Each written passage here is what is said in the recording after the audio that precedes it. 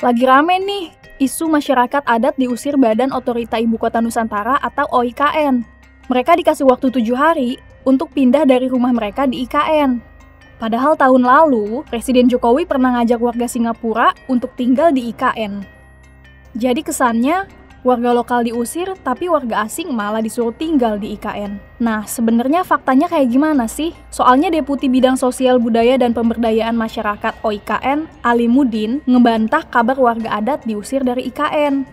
Dia bilang kalau kabar itu hoax. Dia juga bilang kalau otorita IKN tuh melindungi masyarakat adat, tapi ternyata faktanya hampir 300 warga nerima surat teguran dari OIKN. Dalam surat bernomor itu, tertulis bahwa warga harus ngebongkar bangunannya, soalnya dianggap nggak sesuai sama ketentuan tata ruang IKN dan peraturan perundang-undangan. Terus pas tanggal 8 Maret 2024, OIKN ngadain pertemuan sama ratusan warga untuk ngebahas isi surat itu. Totalnya ada 294 bangunan yang harus dibongkar, terdiri dari 163 rumah tinggal, 22 rumah makan, 24 ruko, dan 85 kios. Nah, bangunan itu dibangun di Kecamatan Sepaku, Kabupaten Penajam Pasir Utara, Balikpapan, Kalimantan Timur, yang mana jadi pusat pembangunan IKN. Dikutip dari Kompas, surat pertemuan yang diterima warga itu dikirim gak sampai 24 jam dari waktu pertemuan. Nah makanya, gara-gara itu, banyak media yang ngeberitain kalau warga adat harus bongkar bangunannya dari IKN dalam waktu tujuh hari.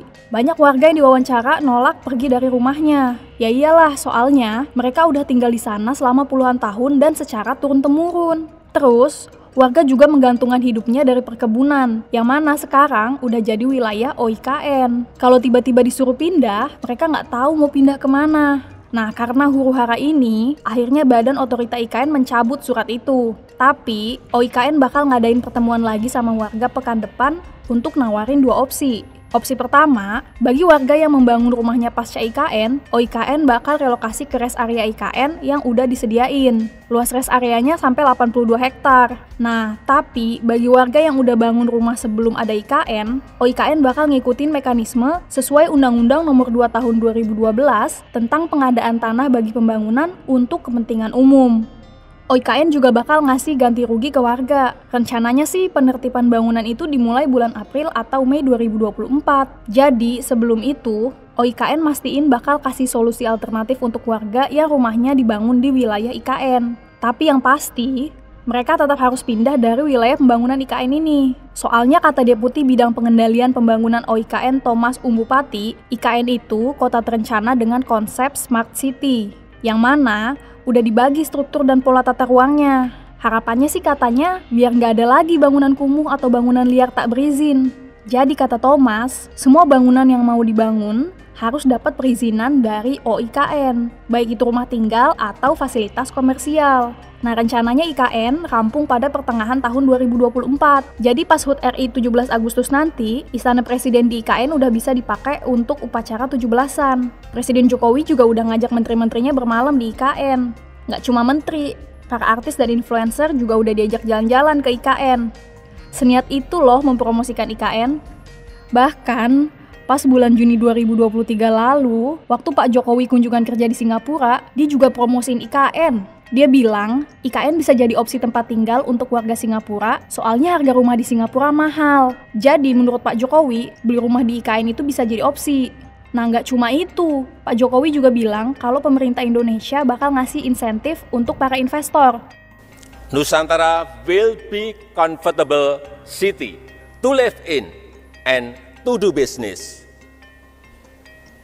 I know housing prices here have risen very high. Maybe living in Nusantara can become an option.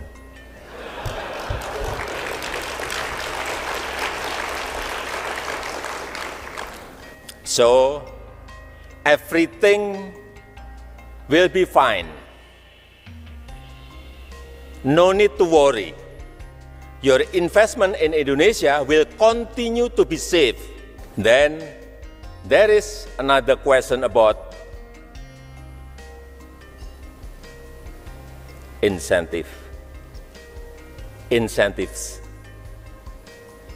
Um,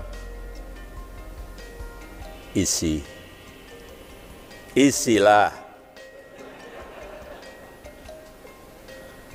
I was also a businessman. Don't worry, we have prepared fiscal incentives, tax holiday, non-collected value-added tax, super deduction tax, import duty. We have done everything. Ladies and gentlemen, what else are you waiting for?